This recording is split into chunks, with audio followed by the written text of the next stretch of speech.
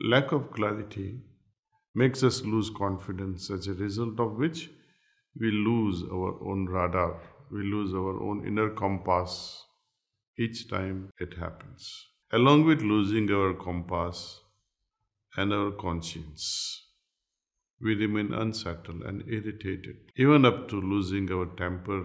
Temper, however great, it may be justifiable or it may not be justifiable, but it works like a matchstick. It tries to burn whatsoever comes on its path, and in the process, that matchstick also gets burnt. Anger is the biggest poison, it ruins our spiritual stature.